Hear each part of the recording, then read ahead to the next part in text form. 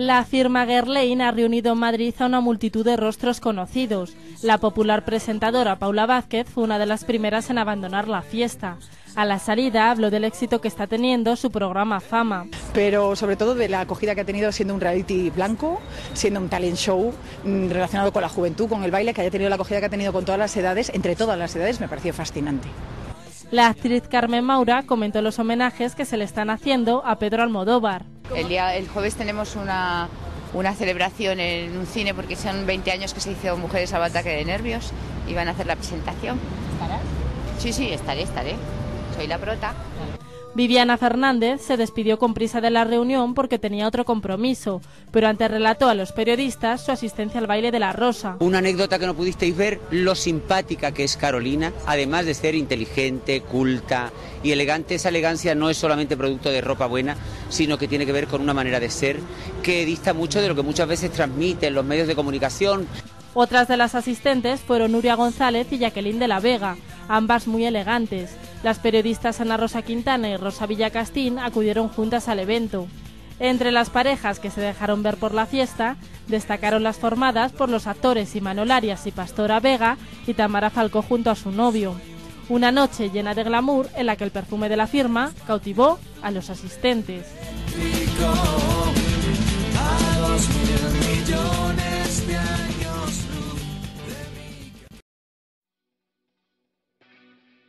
Las felicitaciones para el cumpleaños.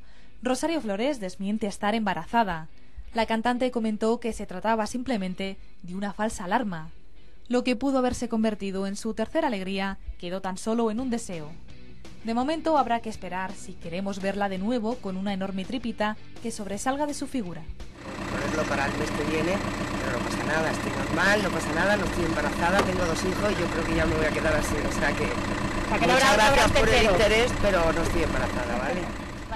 La hija de la fallecida Lola Flores no tendrá que pasar por otro embarazo.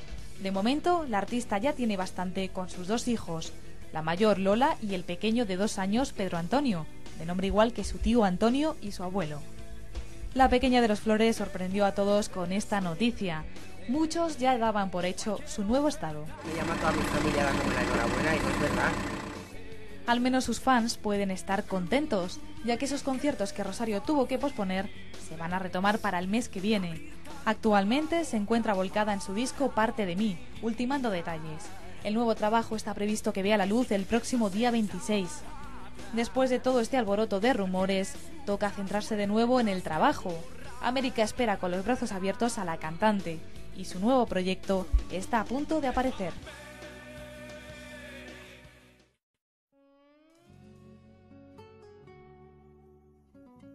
El equipo Onde 2000 KTM irrumpe dentro del mundo de las motos. Bajo el patrocinio de Francisco Paco Hernando, más conocido como El Pocero, la escudería de 125 centímetros cúbicos fue presentada en sociedad en una fiesta que tuvo lugar en la madrileña discoteca Joy Eslava. ¿Qué espera de este año el equipo? Bueno, esperamos hacerlo bien, simplemente eso. Yo creo que ya con eso es el primer año más que suficiente.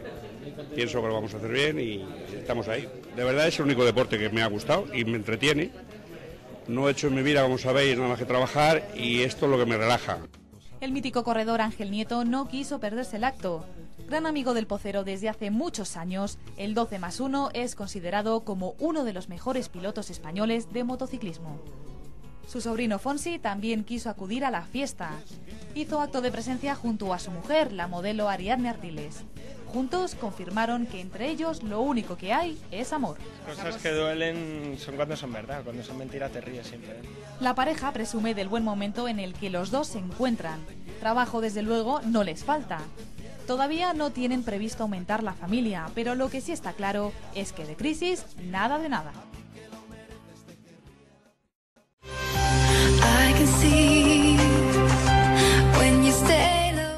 Miguel Ángel Silvestre está de moda.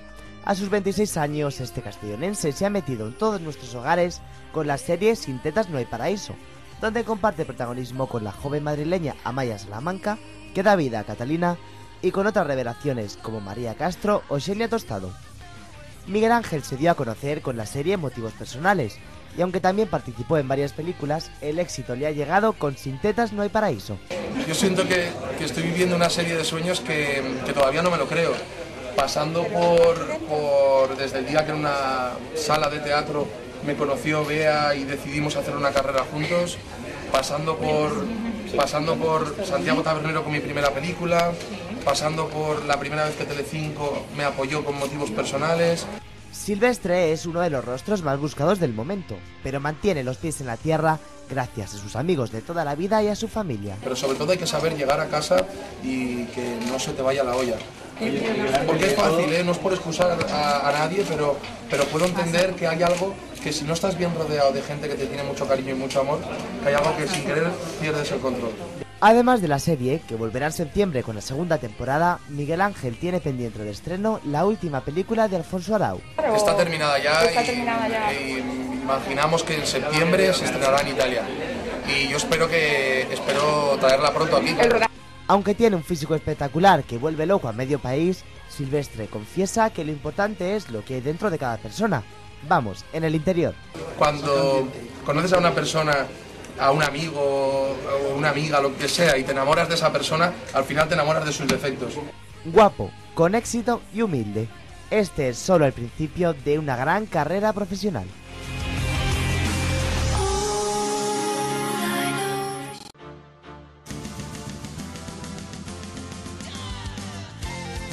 A sus casi 31 años y con más de 20 títulos en su palmarés, acaba de ser reconocida como la mejor en natación sincronizada de Europa.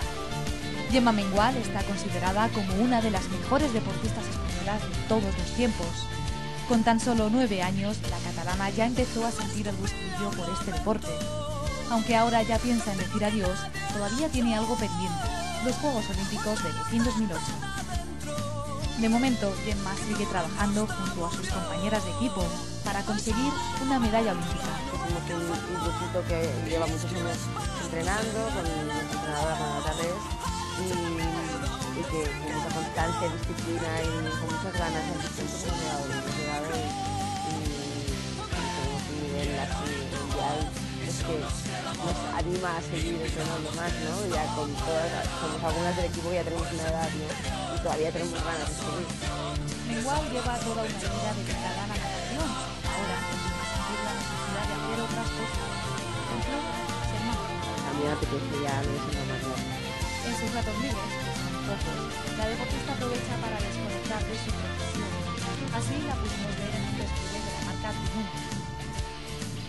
Aunque se considera como una adicta al agua, Gemma ya va pensando en su retirada. Le gustaría que fuera en los Mundiales de Roma 2009. Tal vez allí sea la última vez que la catalana compitiendo bajo el agua.